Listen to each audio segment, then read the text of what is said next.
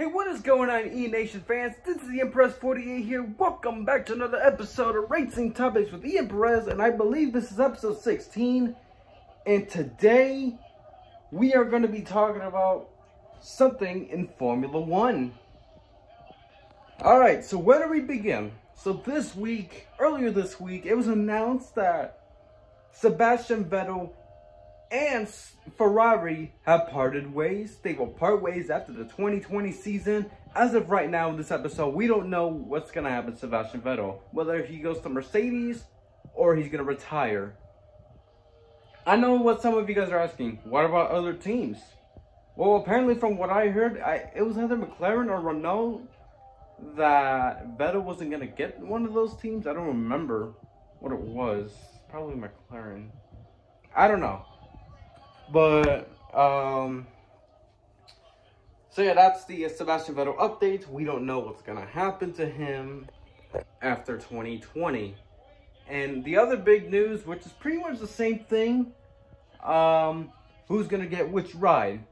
So it's been officially announced that Carlos Sainz is to go with Ferrari next year. And personally, I think Carlos Sainz deserved his Ferrari ride. Why?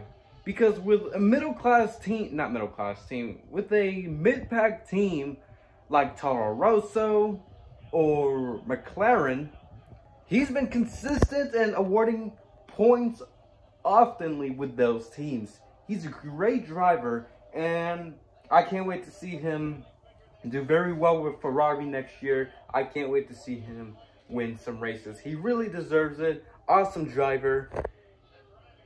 Ferrari made a good decision as long as they don't, I don't know, do what they did with Rubens Barrichello or Vettel. I don't know, the stupid team order crap from Ferrari. I think Carlos Sainz will do good because I think Ferrari wants young teams, I think. Correct me if I'm wrong. Because they got Charles Leclerc and he, and I think he did, I believe he did well last year. Uh, he did well. However, there were some races he could have won, but hey, things happen. But I believe Leclerc will win more races this year. But that is not what I'm going to be talking about. Um, so I woke up earlier this morning. I woke up this morning um, seeing the news that my favorite Formula One driver, Daniel Ricciardo, is going to go to McLaren for 2021.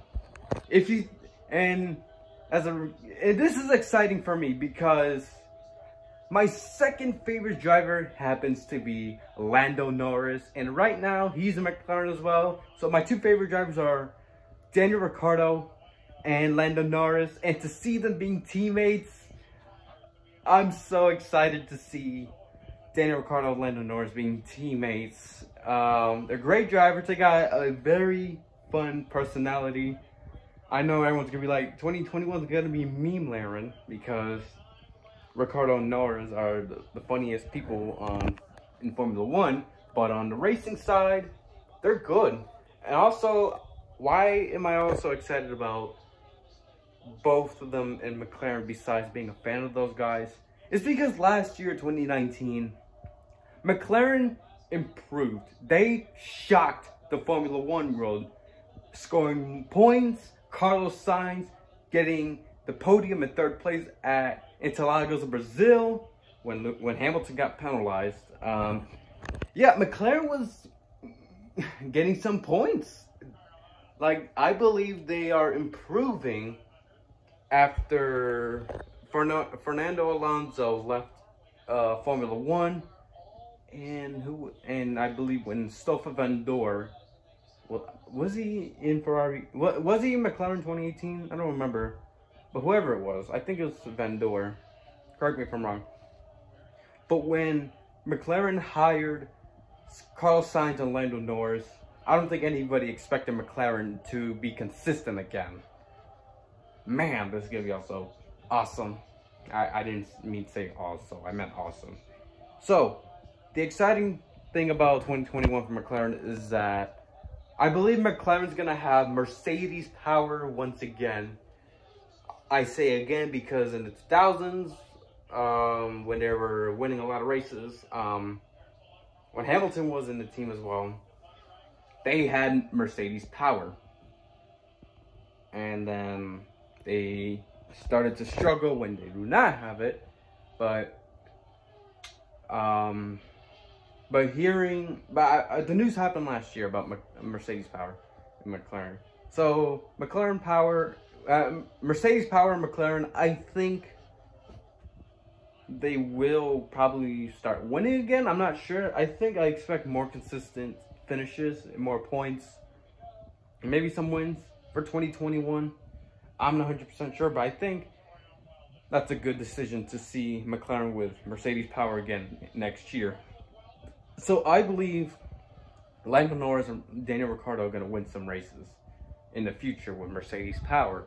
So because my my favorite drivers, uh, Ricciardo and Norris, um, I guess I'm gonna be a McLaren fan. I guess I'm gonna be hopping on that bandwagon for that reason. So yeah, cheers to that. I could have done Shoey, but whatever. So yeah, I hope you guys enjoyed this episode of uh, Racing Topics with Ian Perez. Uh, silly se and guess what? Silly season has started, and the Formula One season of 2020 has not. That's the crazy part about silly season of what's going on right now. That's the crazy part. I really, I can't wait to see Formula One in Red Bull Ring in July. If if the pandemic is not really a big deal like it was back in March and April, just don't do stupid shit, people. Stay healthy, take care of yourself, stay inside, put on your mask, just protect yourself. Don't touch anything with your dirty ass hands, don't lick anything. Just don't be fucking stupid. And then racing season will be back on. We'll be seeing Formula One start their season finally. IndyCar in June. IMSA continuing, etc. Just don't be stupid. You you want your shit back? Like you want your shit back? like it was before the pandemic. Do what I say. Don't be fucking stupid. There. Okay, so as for Sebastian Vettel, I really hope he finds a ride. If he doesn't, I want to thank Sebastian Vettel for everything he's done when he was with Red Bull and Ferrari. Oh yeah, Toro Rosso, uh, where he first started. He's been a great driver. I know he struggled last year. I don't think he deserves to get bashed on because regardless, he's a four-time champion with a lot of wins. I think he deserves more respect. Like, I know his Ferrari uh, days were not the best days. Like, not as good as Red Bull. But I think he deserves more respect because he's a legend as well. So, yeah. With that being said, I want to say thank you guys for watching this video. Comment, like, and subscribe for more. Follow my social accounts. Instagram, I'm Ian 25 and Ian 48 underscore T. Like my Facebook page, ENASCAR48-E Nation Films. Don't forget to turn on my YouTube channel notifications for more content. And yeah. And thank you guys for supporting E Nation. I'll see you guys in the next video. Goodbye, everybody.